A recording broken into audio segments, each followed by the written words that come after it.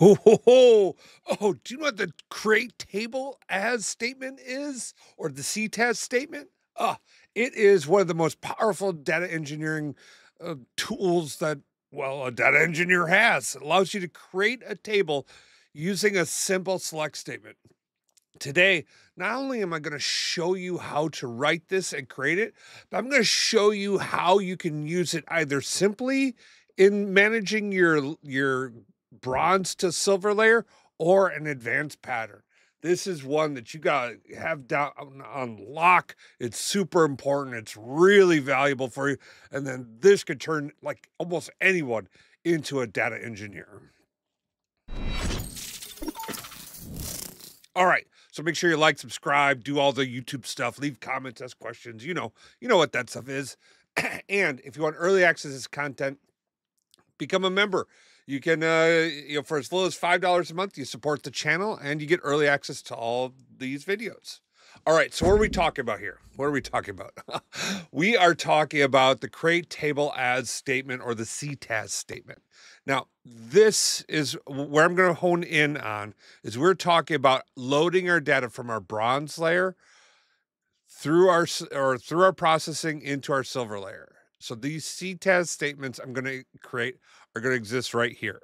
Now you say, I'm sure you say, hey, Chris, what about from my silver layer to gold layer? Uh, yes, you could do those inside of here too. It's a little more difficult right now, I'm, but I'm going to show you how you can get it done uh, using this process today from bronze to silver. Okay, in the future, we're gonna I'm going to show you where this is going to come up with. Okay, let's dive into it now first things first, we're going to be using SQL notebooks to do this. Okay, there's there's some other different ways that you can do it, but I absolutely love the SQL notebook because of how easy it is to create it. And I've got two examples here that I'm going to be showing you, um, uh, like actually running you through these, and then I'm actually going to build one with you. I'm just going to probably follow the simple simple pattern. Okay, let's start out though with the most basic of them, and that's the simple load process. Okay, so what are we going to do in a simple load process? Let me just kind of shrink that up for you. Okay. First things first, uh, when we do a simple load process, we're going to query the table that we want to be getting our results from. Why do we do that? Uh, a, a couple different reasons. Number one, to ensure so Lakehouse has compute, it's responding, you know, and it kind of warms it up so that when I go to actually query this data and query the load, I know that it's going to be uh, it's going to be as efficient as possible. Number two, I'm going to use explicit field names I'm expecting in my landing or in my bronze data that I'm going to be moving over into my uh, silver. Why am I going to do that? Well, your bronze data could be your raw data that you've brought in uh, those processes sometimes go awry. Sometimes field names change, processes change, and you don't necessarily want, you know, when whatever's changed upstream could have all sorts of breaking changes downstream. You want to kind of stop that, address that as early in your flow as possible. This ensures that you you you don't ever you don't even go beyond this query step if all of a sudden there are no fields in your table or i don't know they've radically changed something in the table. So i'm going to first run this step okay? Once that's done um uh, and you know as a developer i could go and i can review this and, and that's all well and good. But the next thing is i'm going to go into my ctas statement okay? Now uh, we're going to hone in on how this create table as statement or CTAS statement is formed. Okay. So the first part is you're going to tell it, hey, we're going to create a table. And then I'm going to name what the table is. And then I'm going to say as. And then from there, oh, I kind of block that up. All I have to do is drop in a select statement. Now, in this case, I shouldn't have select top 100. That's not effective. I don't want to have that, right? And then uh, what this is this is going to generate my table. And you know this will this is all i technically need to do that create table as statement. I'm going to show you one little trick though. You got to make sure you include and uh, that's this query to see if the object exists at all. And if the object exists delete it first okay? So it's going to check say okay hey if my object id AdventureWorks Silver Dim Geography, which is what I'm creating here, is you, i.e., is you know is you know is available, right? It, it if it exists, basically, um, drop this table, right? Uh, you're going to drop the table, and then the very next thing we're going to do is we're going to create that. We're going to load it from uh, that silver layer.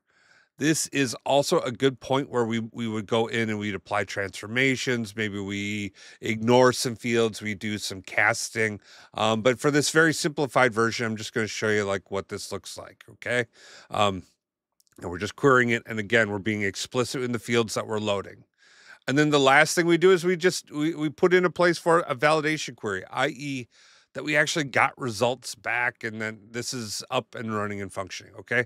This is our simple load pattern. If I go up to the top, hit run all, it's going to start up at the top and it's going to like run through all of the items below that. So you can see it's preparing, it's running cell two. So it's on here. It's going to run this real quick, generate that table. It's already onto the, the C CTAS statement. It's going to run and it's done there. And now, boom, uh, we're done and we're loaded. Okay. Very simple process, really nice and easy, right? Okay, that's the simple load process. Let's talk about what does an advanced load process look like, okay? So first things first, why would we want to do that? Now, if you saw, as part of the CTAS statement, we drop the table and then we recreate the table. Now, that's all well and good when things run as fast as what we had. But part of the build of our silver layers could be applying business rules, adding logic, doing cleansing activities. That type of thing is going to happen in our silver layer. So you might encounter tables that have a really long load time. Uh, like maybe it loads for five minutes or 10 minutes or whatever it is.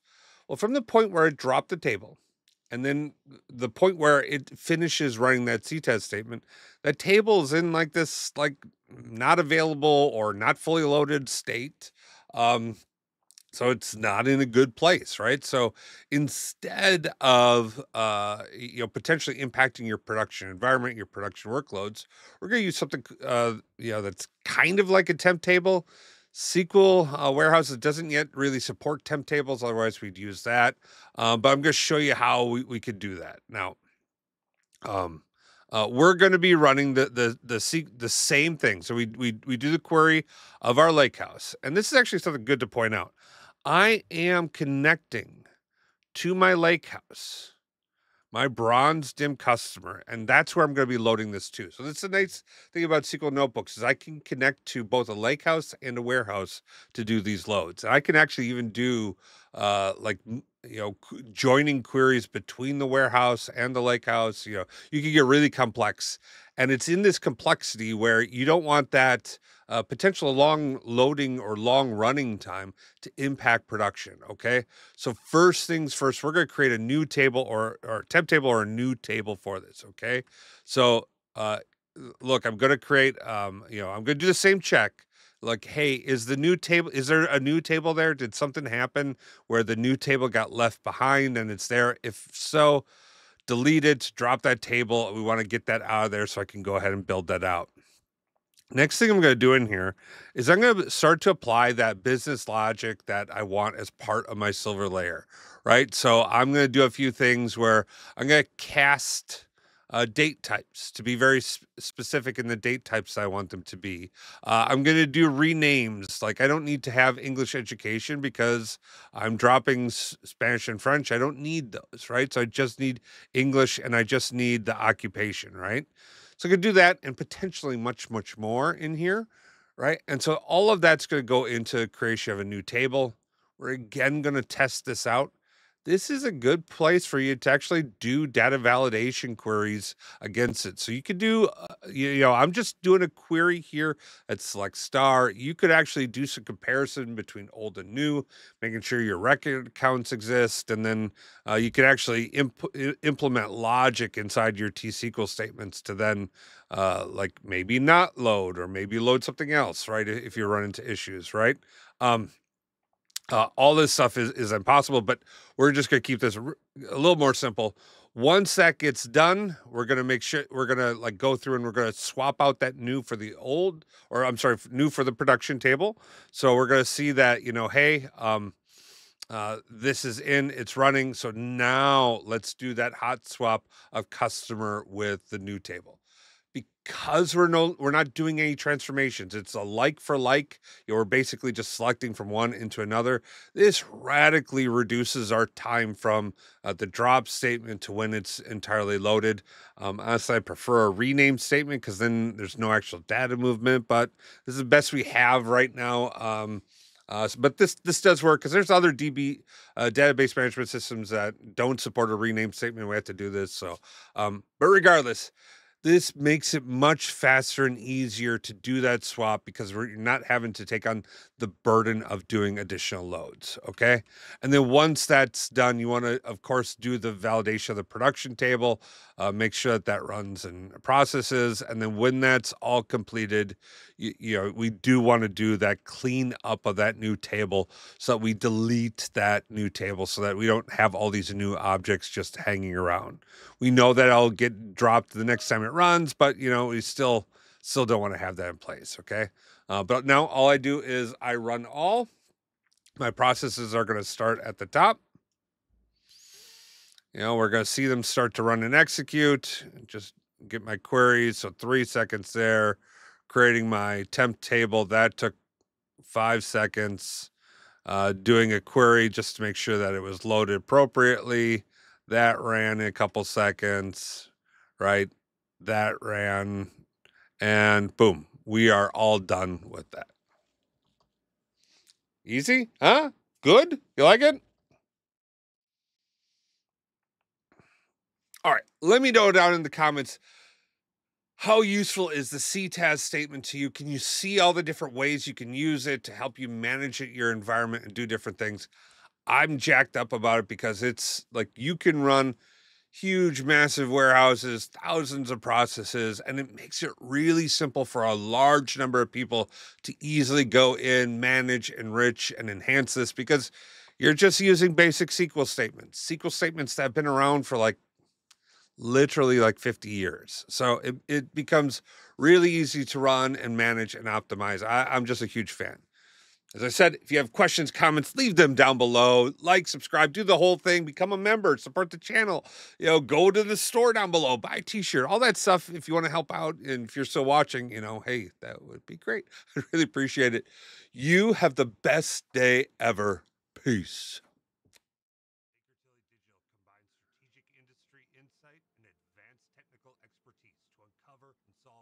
Oh.